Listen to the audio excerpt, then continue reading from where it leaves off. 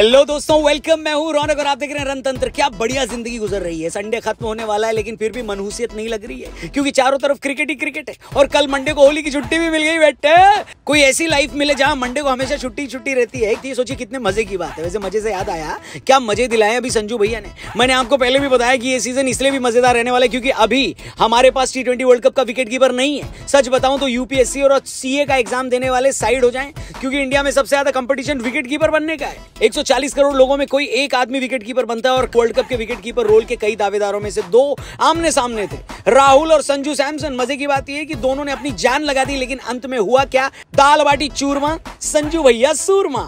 ऐसी सूरमा आप में से भी कई लोग जिनकी ओपिनियन हमेशा ज़बरदस्त होती है, वो बन सकते हैं। कैसे? वीडियो में आगे बताता हूँ अपनी ओपिनियन से पैसे कमाने का तरीका। अच्छा हुआ ये कि राजस्थान ने पहले टॉस जीतकर बैटिंग का फैसला लिया। जयपुर में गर्मी पड़ने लगी। हमें लगा था कि इस टूर्नामेंट का सबसे धमाकेदार ओपनिंग पेयर यानी जॉस बटलर और यशस्वी जायसवाल लखनऊ वालों को इस गर्मी में जमकर पकाएँगे, लेकिन लखनऊ वालों ने कहा कि इलाका भले तुम्हारा हो, लेकिन धमाका हमारा होगा। जॉस बटलर को नवीन उल हक ने जल्दी निपटा डाला। विकेट के पीछे के राहुल ने उनका बढ़िया कैच पकड़ा। क्विंटन डिकॉक और पूरन के होने के बावजूद आखिरी इंजरी से वापस लौट रहे के राहुल विकेट कीपिंग क्यों कर रहे ये मैं सोच ही रहा था कि अचानक मुझे याद आया कि अरे वर्ल्ड कप भी तो आने वाला है और उसमें भी विकेट कीपिंग की पोजीशन खाली है। लेकिन विकेट कीपिंग वाली दावेदारी में राहुल अकेले थोड़ी ना है, संजू भैया भी है। और संजू भाई ने क्या ऑडिशन दिया है? दो जल्दी विकेट गिर जाने के बाद उन्होंने जो मोर्चा संभाला तो अंत तक टीम का साथ नहीं छोड़ा। इसमें उनकी मदद करी रियान पराग ने, जिन्होंने अब की बार रंगबाजी की जगह बैटिंग करके दिखाई और खुद भी उनतीस में तिरालीस बनाए।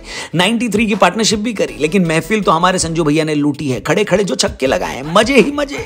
बावन गेंद में 82 नॉट आउट बनाकर गए और राजस्थान को लगभग 200 के करीब पहुँचा दिया। लखनऊ को जीतने के लिए टारगेट मिला 194 जो मेरी ओपिनियन में सेफ़ था या नहीं, ये मैं फ्री में यहाँ नहीं बताऊँगा। हेलो और मैं चाहता हूँ आप भी फ्री में अपनी ओपिनियन कहीं भी मत बांटो। प्रोबो ऐप डाउनलोड करो डिस्क्रिप्शन में लिंक दिया है और इस ऐप को डाउनलोड करने के बाद कई सारी कैटेगरीज के कई सारे सवाल मिलेंगे। सिर्फ़ हाँ या ना में आपको अपनी ओपिनियन देनी है। जैसे एक सवाल आपको यहाँ मिलेगा कि क्या बेंगलुरु पंजाब के सामने जीतेगी? क्या विराट कोहली पचास या उससे ज़्यादा रन बना पाएँगे पंजाब के सामने? हाँ या ना? अपनी ओपिनियन दो, ढेर सारे पैसे कमाओ आईपीएल के इस सीज़न आसान से सवालों के जवाब देकर आपको लाखों रुपए मर्सिडीज और महिंद्रा थार भी जीतने का मौका मिलेगा। और भी बहुत सारे प्राइजेस हैं। जल्दी से ऐप डाउनलोड करो। डिस्क्रिप्शन में लिंक दिया है और प्राइजेस जीतने के बाद आपको उसको आसानी से विड्रॉ भी कर सकते हो। क्या समझे? वीडियो में आगे बढ़ते हैं। 194 का टारगेट छोटा मोटा तो होता नहीं है, लेकिन जिस टीम के पास क्विंटन डिकॉक पूरन खेल राहुल स्टॉइनिस जैसे खिलाड़ी हो, वो टीम सफ़ेद झंडा लेकर तो मैदान पे आएगी नहीं। इसलिए क्विंटन डिकॉक और केल राहुल बल्ला लेकर मैदान पर आए। राहुल की ओपनिंग करने से मुझे हैरानी हुई, क्योंकि अगर उनको वर्ल्ड कप में जाना है तो उनको ये बात पता होगी कि वर्ल्ड कप में टॉप ऑर्डर की बुकिंग ऑलरेडी हो चुकी है। ऐसे में बेहतर होता कि वो मिडिल ऑर्डर में खेलते, लेकिन उन्होंने टॉप ऑर्डर में खेलना चुना। पर कम से कम उन्होंने चुना तो। उनके साथ वाले बल्लेबाज तो आयाराम गयाराम बन गए। ग्यारह रन पर तीन विकेट गिर गए थे। थोड़ी बहुत पार्टनरशिप दीपक हुडा के साथ हुई, लेकिन सिक्सटी तक मामला चार विकेट हो गया था ऐसे में राहुल का साथ निभाने आए दाल मखनी के दीवाने निकोलस पूरन। उन्होंने केएल राहुल के साथ मिलकर लखनऊ की जीत के इरादे मज़बूत किए। हालाँकि रिक्वायर्ड हंड्रेड गर्मी की तरह बढ़ता जा रहा था, लेकिन फिर भी लखनऊ वालों को लगा होगा कि मामला अंडर कंट्रोल है, क्योंकि पूरन और राहुल की हाफ़ सेंचुरी हो गई थी और स्टॉइनिस का आना बाकी था। राहुल के आउट होने के बावजूद लखनऊ गेम में थी, लेकिन अठारवा ओवर फेंकने आए अश्विन ने मास्टर क्लास प्रदर्शन किया और स्टॉइनिस को आउट करके उस ओवर में एक भी बाउंड्री नहीं दी। यहाँ तो मामला ऐसा हो गया जैसे बुर्ज खलीफा पर चढ़ना है और लिफ्ट खराब है, सीढ़ी से जाना है।